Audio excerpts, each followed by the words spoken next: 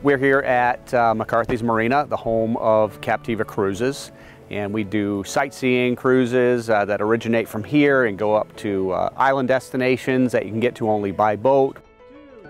Today we are celebrating our grand uh, reopening after uh, Hurricane Ian. 106 days ago, we went from having over 500 businesses in our uh, membership base at the Sanibel Captiva Chamber to zero open. So every single business is a major milestone um, to our community. To have tourism-based businesses back open is a giant step forward. We had some damage here on the property, a lot of vegetation damage, we had dock damage, we had damage to our building. So we spent the last three months plus uh, repairing uh, those damages. We're excited to get back to work, back to doing what we love doing.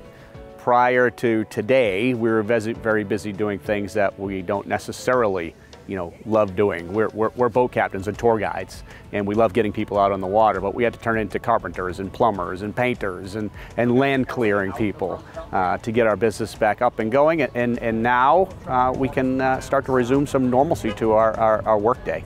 You feel the motivation, you feel the morale boost from something like this, and um, it's just a really exciting time to be on, on Sanibel and Captiva following the most destructive storm we've ever seen. Uh, I was out yesterday on the water, saw a lot of dolphins. Uh, our beautiful islands are still our beautiful islands.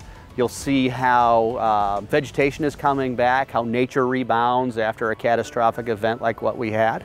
And uh, you see a lot of beautiful, uh, beautiful scenery out there today.